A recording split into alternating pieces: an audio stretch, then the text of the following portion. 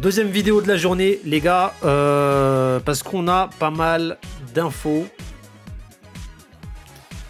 Et voilà, bon, on, va regarder ça. Euh, il y a un autre truc aussi que j'ai pas abordé, on me l'a fait remarquer dans les, dans les commentaires. Voilà, bon, c'était, un peu voulu, mais, euh, mais bon, on va aborder le truc. On va aborder le truc. On va sur Discord et, on va, on va s'apercevoir tout simplement qu'on a des infos sur le Super Dream Collection. Ça fait bizarre de dire Super Dream Co. Donc, on a des petites infos sur Misaki, notamment. Voilà, donc Misaki qui va arriver du coup avec une, jumping one-two volée. Donc, euh, j'en déduis que c'est une volée, tout simplement. Euh, j'en déduis que c'est une volée parce qu'il il y a le mot volée. Mais, mais c'est vrai que euh, c'est pas toujours vrai. On a des tirs, notamment à Croyford, je sais plus lequel exactement, qui possède volée dans son tir. Voilà, donc euh, voilà. Bref, il peut y avoir des cas où on a le mot volet alors que c'est des tirs. Mais pour le coup, ici, je pense bien que c'est une volée parce que dans la cup qui arrive vendredi, euh, on a une TS de tir à gagner. Et, euh, là, bah, pour le coup, elle serait complètement useless si cette spé là c'était un tir plutôt qu'une volée. Bref, volée basse, hein, je précise. Donc 510 de patate, voilà, solo en plus, donc c'est pas mal. Euh, ensuite, le passif du coup de Misaki, c'est combinaison euh, avec Tsubasa. Hein. donc du coup, euh, quand il y aura Tsubasa sur le terrain, Misaki va prendre tant de stats. Voilà, on verra ce sera combien? 15, 20, 25, 30. On verra selon les stats.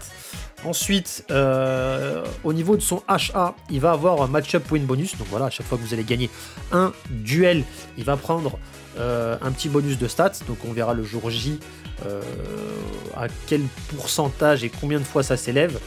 Voilà. On va voir aussi euh, distance en plus sur une, sur une 2. Voilà. donc ça, ça va l'aider justement à aller dans la surface de réparation beaucoup plus vite, si toutefois vous arrivez à passer. Et il va avoir du coup un anti-scellement. Voilà, donc donc c'est pas mal. Voilà, c'est pas mal. Et en termes de lien, on va avoir avec 3 joueurs rouges, paramètres plus 4%. Pas de shield, donc euh, et pas 4,5 non plus. donc ouais, voilà, 4% à voir maintenant. Euh, c'est vrai que ça aurait été compliqué quand même hein, d'avoir 4% lien et 4% de shield. Faut se calmer un petit peu, donc euh, faut voir, faut voir, faut voir. Parce que j'en ai, vu pester beaucoup contre le perso, ça se trouve il va être, il aura de très très bonnes stats. Et du coup, euh, ça peut être pas mal. Là, pour le coup, on verra. Est-ce qu'il va faire oublier euh, le, le, Nuksaki, hein, le Misaki euh, Junior Youth Spea là? Je sais pas, je sais pas, mais on verra, on verra quand le perso va sortir. avec les stats et tout, on aura un peu plus de, détails à ce moment-là. En ce qui concerne Roberto, donc vous avez compris que Misaki il est rouge, hein. voilà, c'est avec son lien, 3 rouges, il prend 4%. Miss, Roberto, lui, il sera euh, vert. Voilà, Roberto est vert. Il aura une frappe spédistance à 510. Voilà, spédistance à 510. Ensuite, euh, donc voilà, c'est spédistance, voilà, pas de problème. En ce qui concerne son passif, du coup, il a low body. Roberto a low body. Voilà, et évidemment, quand on a low body, logiquement, on associe à ça courage. Pourquoi je dis ça? À votre avis. Bref, on va pas revenir là-dessus. Et euh, spécial skill block. Alors quand on regarde comme ça, ça a l'air d'être une spé aléatoire, pas forcément de tacle, voilà, ou pas forcément d'inter, bref. Je fais référence au Roberto Payant en rouge là, qui lui celle des tacles à 70%. Là, on précise pas. Du coup, on ne sait pas euh, à combien sera euh, le pourcentage. Est-ce que c'est du 100% Est-ce que c'est du 70 Est-ce que c'est du 50 Etc. etc. Et est-ce que c'est sur toutes SP À mon avis, ça va être sur toutes les SP, parce que sinon ils auraient, ils auraient précisé. Donc je pense que ça va être sur toutes les SP. On verra maintenant le pourcentage. Euh, au niveau de la, de. Donc ensuite, voilà, donc défensivement, je pense qu'il va être pas mal. D'autant plus que dans la cup, il y aura un tacle à, gagner. On verra si c'est un gros tacle éclaté ou si c'est un autre tacle un peu plus, euh, un peu plus conséquent quand même. Et il va donner 2% euh, aux Brésiliens. Il va donner 2% aux Brésiliens, sans lien. Hein. Voilà, là tu mets sur terrain et tous les Brésiliens vont prendre 2%. Bref.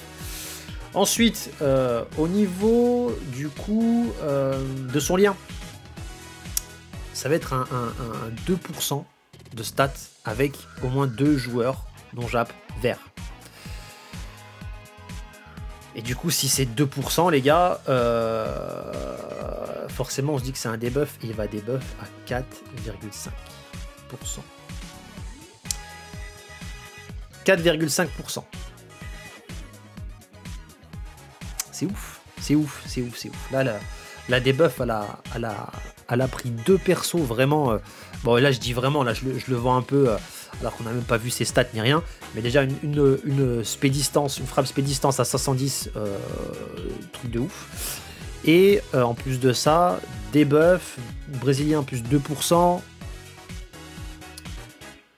low body, courage, c'est une spé. Sur le papier, hein, sur le papier, Roberto il fait évidemment plus envie que Misaki. Mais Misaki, je veux pas le, je veux pas le vendre tout de suite. On verra ce que ça va donner. Même si bon, c'est vrai qu'il aurait pu avoir un petit shield.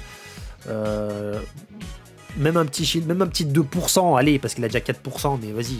Je sais pas, c'est compliqué maintenant à, équilibrer les persos. Euh. Tu vas avoir des persos buff, des persos shield, des persos debuff. Alors c'est vrai que la perso debuff, elle a extrêmement bien mangé sur cette semaine là, en, l'occurrence avec Natureza et, euh, alors Natureza, Almira et, euh, et comment il s'appelle euh, bah, Roberto. Mais du coup voilà, ça réhabilite un petit peu les, euh, les, teams Shield. Je rappelle qu'il y, a y a beaucoup de persos Shield, hein, du gros perso Shield. Tiger Bran, Levin V2. bon voilà, faut les avoir droppés, mais vous avez les Schmitt aussi de l'anniversaire. Le truc en fait, c'est que jusqu'à maintenant, avant cette histoire de, en fait, avant la réhabilitation de, la debuff, vraiment, parce qu'il y avait des petites debuffs par-ci par-là avant sur le PVP, mais c'était rien de fou. Et euh, à chaque fois qu'un perso sortait avec un, lien 3%, 3,5% et du shield, c'était en mode euh, oh dommage, c'est un shield euh, Osef. Voilà, Osef. Par contre, quand c'était un, perso PEC avec 4,5 de lien, là c'était oh, magnifique, magnifique. Et bah là, mon gars, va Osef, des persos shield. Va les Osef, vas-y ça prend une autre tournure. Ça prend clairement une autre tournure. Euh, ça va apporter de la diversité sur le jeu, ça c'est clair. Euh, c'est vrai que pendant un moment on avait pas mal de, matchs en fait, hein, où tu, tu croisais que des Rivaul, que des v 3 que des Tiger Bran, que des, bref, que des trucs comme ça. Là pour le coup, ça va changer. Euh, donc, à voir. Je pense quand même que Rivaul V2 avec sa, sa, hotline à 10%, il va se retrouver dans pas mal de teams. Shield ou des buffs, rien à foutre. Mais voilà, je, trouve que euh, c'est une bonne chose. Après, c'est vrai que bon, euh, on faudrait peut-être équilibrer un petit peu et distiller un peu mieux les portails. Là, il y en a eu deux d'un coup, boum, sur les debuffs. Peut-être, euh, ils auraient peut-être, je sais pas, peut-être mettre Roberto un peu plus loin. Mais bon, c'est une Dreamco en même temps, donc ça arrive au milieu de moi.